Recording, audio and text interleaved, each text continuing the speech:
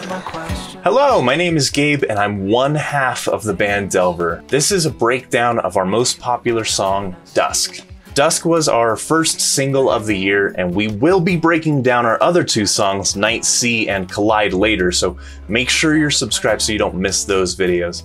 Also, we stream performances of all of our music over on Twitch, so be sure to check out our channel after this video twitch.tv slash delvrmusic. Let's just jump right into the song. Uh, we open the song with guitar, so I figured that's probably a good place to start. This is how it opens here.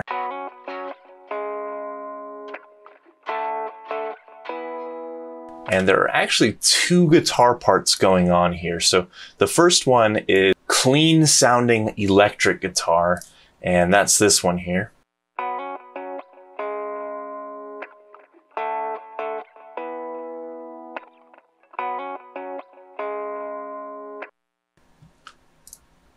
And accompanying that is an actual acoustic guitar that we recorded as well.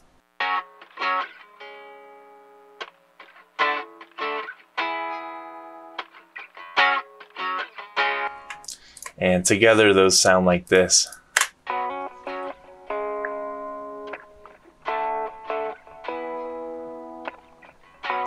Now those are kind of filtered here at the beginning, but when the verse part comes in, you'll hear they actually take that filter off and you'll be able to hear them a lot more present. Uh, the only other thing that we have that comes in here as well is a bass guitar, which sounds like this.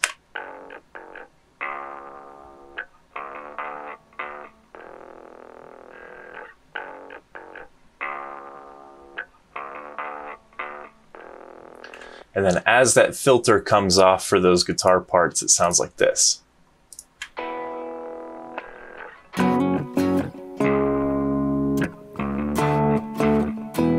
So you can hear all those guitars get more present, more alive once that filter comes off.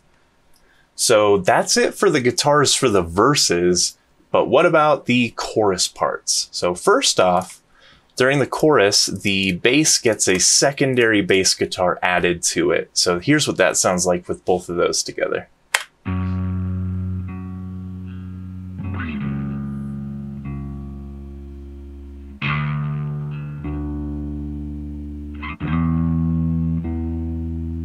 So you can hear that secondary bass has a lot more distortion on it, a lot more grit. You can see I have it labeled in the Ableton project as grit bass and uh, that just kind of adds to the punch of the chorus there. Other than that, the guitars get a lot more airy and spaced out as far as the chords go. So the acoustic is just playing the regular chords for the chorus here.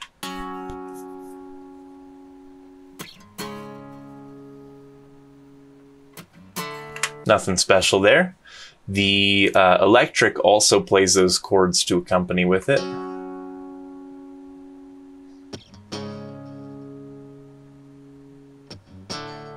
Just like that. And then finally, we introduce a guitar lead for that chorus that kind of drives a counter melody of sorts for the vocals. All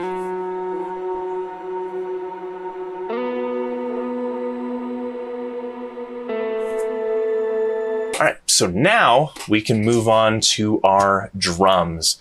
So the drums in this song are a pretty standard, I'd say trap style drums uh, that are really popular with pop music. Uh, they start filtered down just like the rest of the verse does. And when they come in, here's what they sound like.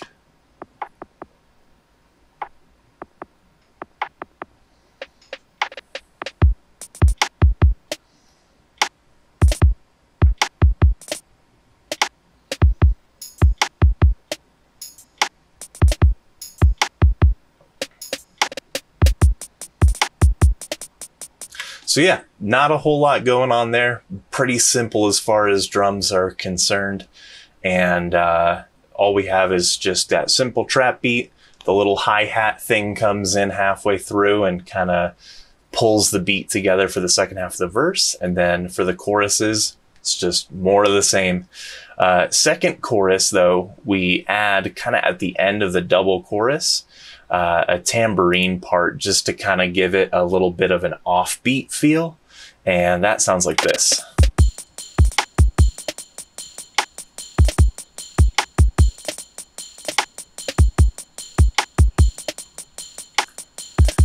So that just kind of provides a counter, an offbeat for the main rhythm.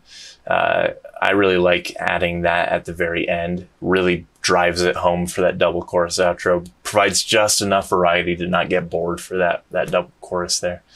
Um, so that's it for the drums. Nothing too crazy going on there. Where it gets wild is this thing down here that I call the effects group. And I use an effects group to just kind of lump everything together if it's a sound that doesn't really fit within any of the other groups that are already in the song. So for this one, for instance, we've got these kind of interesting sounding reverse percussion parts.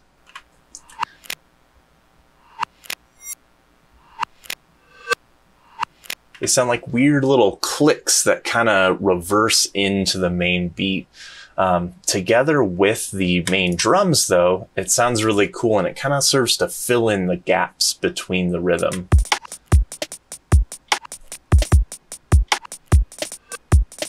See what I mean? It's very rhythmic, very interesting. They're panned all weird, so they come in from different angles in your headphones. I really like doing this in, in my songs uh, I add just kind of these weird kind of textures that sit underneath the drums and just support the rhythm. So um, that's what most of this group is doing. A lot of these are just noise and risers and things like that.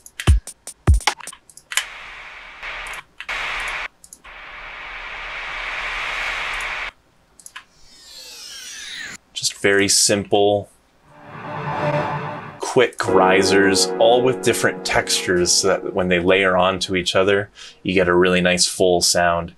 The only other thing in this effects group that I'd like to mention is this vinyl sound. It's just kind of a wide stereo vinyl crackle sample.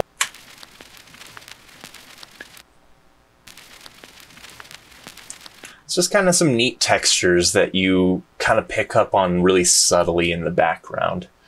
Um, so from there, after that effects group, we've got our sub bass just to support the main bass guitar and give it that really uh, heavy 808 trap feel on here. Just have a little bit of, uh, just a little bit of overdrive, a uh, tiny bit of EQ and a sidechain on there to tie it together with that kick drum. So all together, the sub the drums and the effects group really make up the rhythm of the song. Here's what they sound like all together.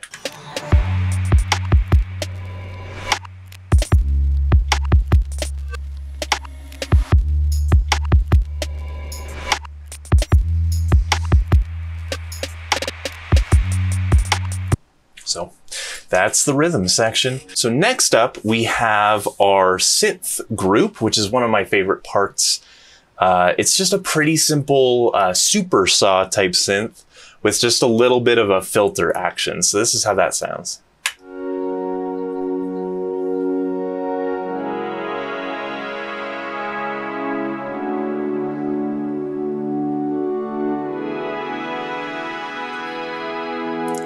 So just the saw playing the chords of the song, the chorus there and the filter kind of opening and closing dynamically as we go. Next up, we've got pretty uh, simple piano doing almost the same thing, but in addition to that, we've got uh, a little bit of a counter melody playing on top of the piano chords as well.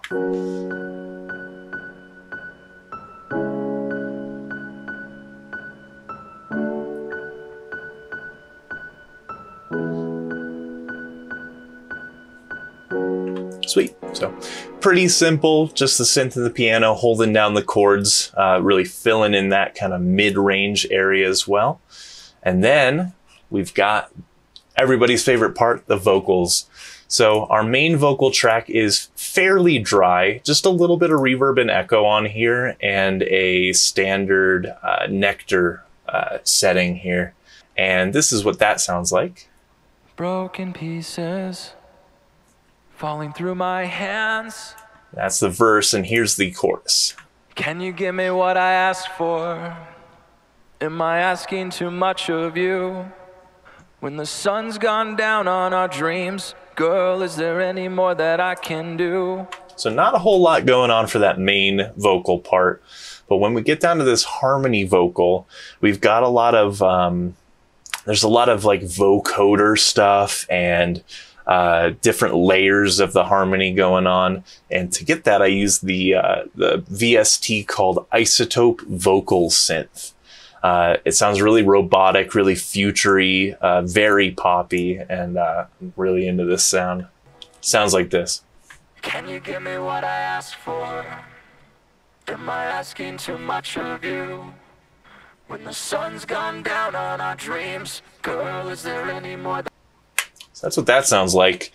Uh, we've also got kind of a, a sunken down backing vocal track that's panned very stereo and that just kind of supports that main vocal gives it a little bit more attitude in the background there. It's it's uh it's almost like a whispered vocal. Mark's vocals kind of got toned down uh, in terms of the the emphasis for this backing vocal.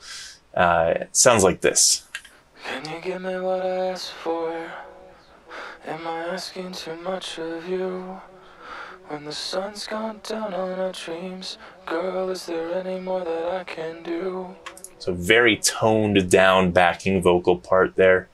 And last but not least for the actual uh, chorus section here, we've got a high harmony for that last line when Mark sings, is there any more that I can do? This high part comes in like this. Very, very pop uh, sound there uh, very uh, pitch corrected sound. I really like it a lot. It, it, adds quite a bit to that top emphasis on that line there. So, uh, and then we've got a couple uh, other tracks down here that I've labeled as Ah, Ah 1 and Ah 2. Those are during the chorus. They're just kind of fun backing vocals for the chorus parts. So this is what those sound like. Here we go.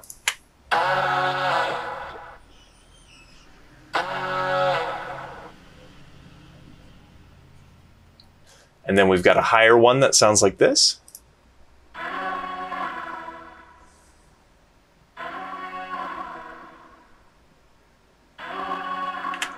And all together, those sound like this.